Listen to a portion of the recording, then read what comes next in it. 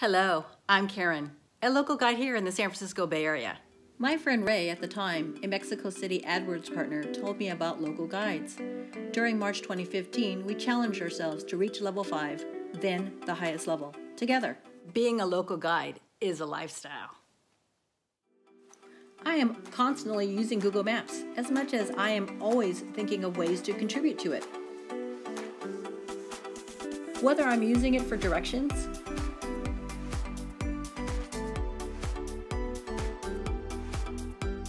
or searching for a kid-friendly place. I will write local guide reviews or update one of my existing reviews.